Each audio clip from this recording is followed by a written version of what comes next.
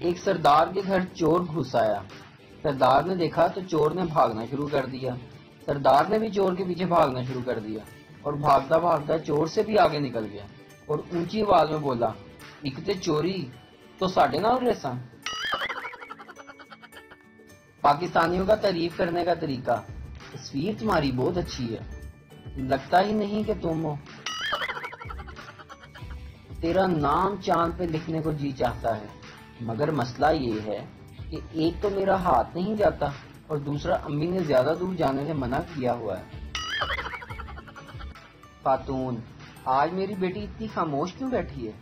दामाद बोला, कुछ नहीं अम्मी जान, लाइट गई हुई थी और इसने मुझसे लिपस्टिक मांगी, मैंने एल्फी दे दी। एक आदमी ने अपने हाथ में एक शॉपर पकड़ा हुआ था और बेतहाशा भागा जा रहा था।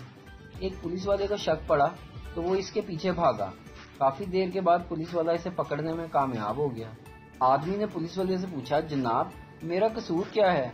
कांस्टेबल, तुमने चोरी की है और इस शॉपर में चोरी का सामान है। आदमी, इसमें मेरी बीवी के कपड़े हैं। कांस्टेबल तो तुम भाग क्यों रहे थे? आदमी, मैं तो इसलिए भाग रहा था कि कहीं मेरे घर पहुँचने से पहले फ़ैशन ना बदल जाए। बैंक में डकैती हो रही थी। डाकू एक आदमी के पास गया और पूछा कि क्या तुमने मुझे डाका डालते हुए देखा है? आदमी बोला हाँ मैंने देखा है। डाकू ने इसे गोली मार दी। फिर डाकू दूसरे आदमी के पास आया और पूछा, कि क्या तुमने मुझे डाका डालते हुए देखा है? आदमी बोला, नहीं, मैंने नहीं देखा, लेकिन वो सामने मेरी बीवी खड़ी है। इसने देखा है। सरदार जी की बीवी की रंगत बहुत काली थी। एक दिन इसने सुर्ख जोड़ा पहना और सरदार जी से पूछा, सरदार जी, मैं कैसी लग रही हूँ? सरदार जी, बिल्कुल क्रिस गेल लग रही है।